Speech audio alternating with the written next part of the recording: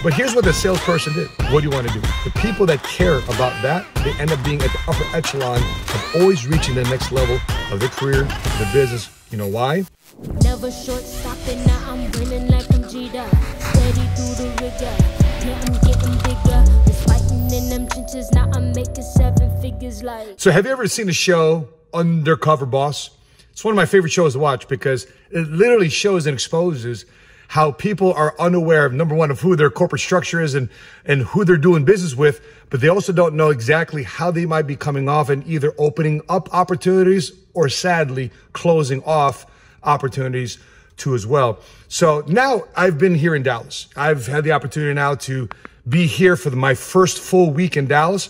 And quite frankly, I'm building new friendships. I'm doing business with a lot of different people. And uh, we've looked at homes. Uh, we looked at office spaces. We looked at clubs and gyms and cars. Uh, uh we've done business with uh, private schools. We've done business with uh, school uniform providers. Uh, so there's a lot of places we've been doing business with. And why is this important? What is this experience sharing with me and sharing with you? And why is it important to you?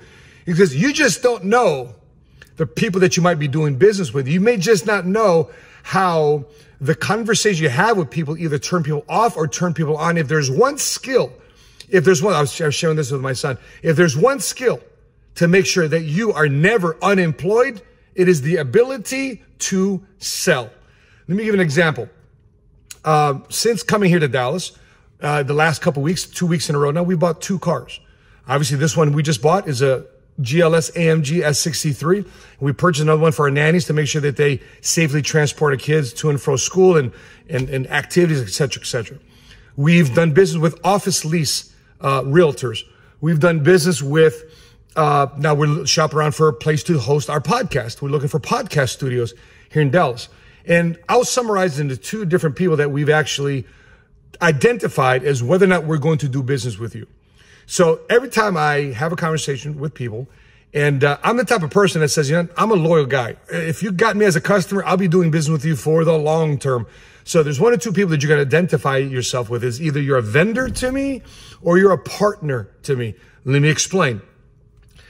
We went to this podcast studio uh, yesterday and uh, very impressive podcast studio, very impressive setup, very impressive lighting. I felt I was on a set of Oprah. I felt I was on, I was on a set of the Joe Rogan show. Uh, they had four or five different podcast studios for us to choose from. Uh, they had equipment. They had uh, uh, all these different um, uh, people in radio and TV experience working and helping us with the engineering and the production of it, whether it be pre-production, in-show production, and potentially also post-production. And um, throughout the whole conversation, to talk about how good they are, how good they are, how good they are, how good they are. And I was like, okay, I was just trying to find my way through this conversation. And okay, I see myself here. I see myself here. I find myself doing this. And when we realized, he shared us the price. And till this day, it was a couple days ago, I still don't have a proposal. Um, we're ready to do business. We're ready to go. I realized that they approached me that they were just a vendor. Here's why. The second podcast studio much smaller podcast and a little bit more useful for what we're doing. The size of the podcast that we're going to launch and the type of breadth of guests we're going to have and the content we're going to share is the podcast studio is a little bit more useful for what we're doing, what we're looking to accomplish. And from a price standpoint, a little bit more palatable for what we're looking to do because you just know like anything else. You, you, you know you're going to make mistakes. You know you're not going to have the best shows. You're not going to have the best podcast, especially when you launch something for the very first time. Why? Because you grow. My experience with the YouTube channel, my experience as an entrepreneur, you think you're going to be setting out in this direction and then boom, you adjust and it becomes better. And next thing you know, boom, you adjust and it becomes better. So what you thought it would be because of your ability to adjust and listen to your audience, you adjust, you listen, you pivot, you grow. And so I'm anticipating that with our podcast.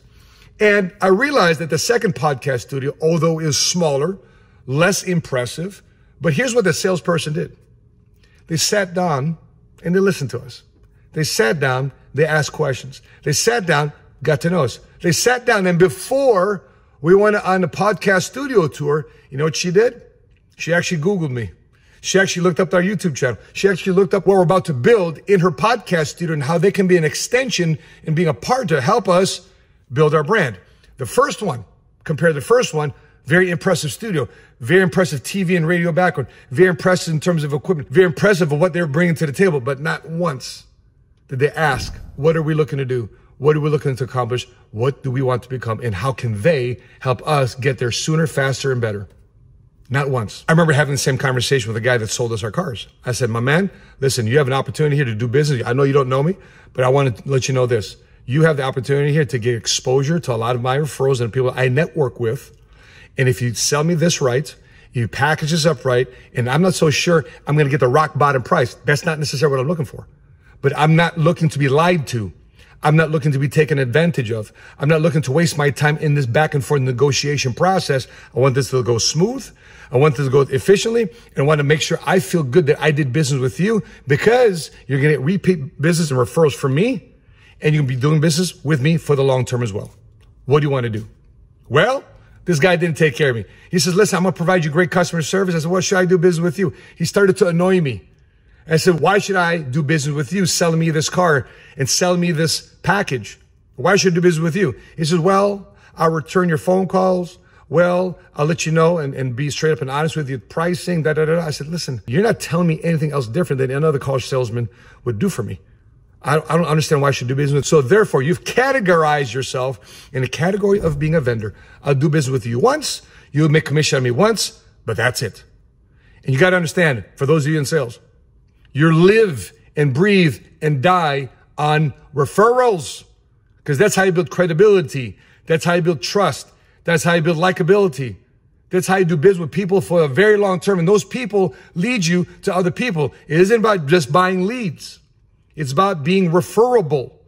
And this salesperson wasn't referable. He was a person showing us office space for the very first time. We realized that they weren't focused in on us. They're just kind of fitting us on the side. You know, when I get to it, I get to it without realizing that I might be the opportunity for you to do 50,000, 100,000, 200,000 square foot office space just from our initial referral, just on the people I'm about to refer you to. Because you don't know who you're doing business with. And you should get to know us. You should get to know your customer. You should get to know what type of opportunities and doors that might open after you do business with them. And again, the second type of person, first person is a vendor. The second type of person is a partner. This is the type of person I'm looking to do business with for the long term. I know this person took care of me. And if they took care of me, I'm going to give them referral to take care of my customers or my other clients or my other partners because I, they realize as a partner that doing business with them is like doing business with me. And I want to be inspired by giving you a referral. I don't want to give a referral to a person that's going to treat my friends, my customers, my clients, my partners as some person is making a commission off them. We understand you're going to make a commission. We want you to make a commission. That's our job as entrepreneurs is to circulate money and make sure that other people get fed from the business we make by circulating business around our community and people that do business with other people. I want that to happen, but I can't make that happen if you're treating me like you're just hustling me and you're one time to me, I want to feel good that you're doing business with me for the long term, that you're taking care of me, that you're going above and beyond the average person in your local marketplace and you know who they are. So as you're going about doing your business and either you're doing business with other people and people are doing business with you, just keep in mind, are you a vendor to me? Are you a vendor to other people? Or you're a partner to me? Or are you, if you're in sales or an entrepreneur, are you a partner to other people too as well? Or do you care?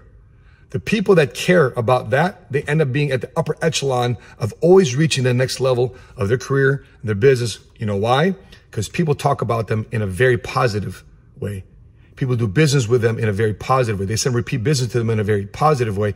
And their business ends up compounding and growing over time. When the other person who treats everybody like a vendor, the relationships, the customers, bing, bing, bing, bing, bing. They're just like pinballs and they never get anywhere. And they're frustrated why they never get anywhere. They don't get any referrals. How come they're not getting any leads? Why? Because they treat people like a one night stand. No problem. I know you're about to make a commission, but if you're not looking for a long-term relationship with a guy like me, next, I won't do business with you. You'll do business with other people. You just don't do business with me. I hope that helps you become more referable and I hope that helps you grow your business, your endeavor. So therefore you never get unemployed because you just lost your ability to sell to more people that will know you, that like you, and more importantly, that will trust you for the long term. That being said, guys, I'd love to know your thoughts, your feedback, your questions. Put in a comment section below. If you want to affirm what we just shared in this video, put in a comment section below. I am a partner to my customers.